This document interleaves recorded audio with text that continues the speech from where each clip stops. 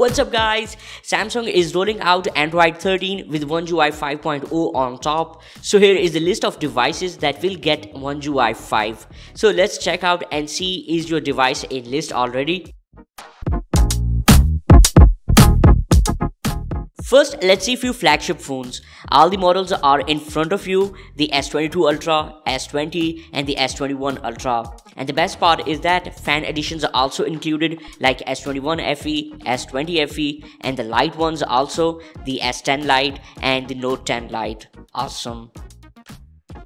And not only that, Samsung also included mid-ranges and even old models also, like the Galaxy A51, A71, A22, the A32, A52, A72, and the new models A23, A33, A53, and the A73. So let me know is your device in list, write down in comments below.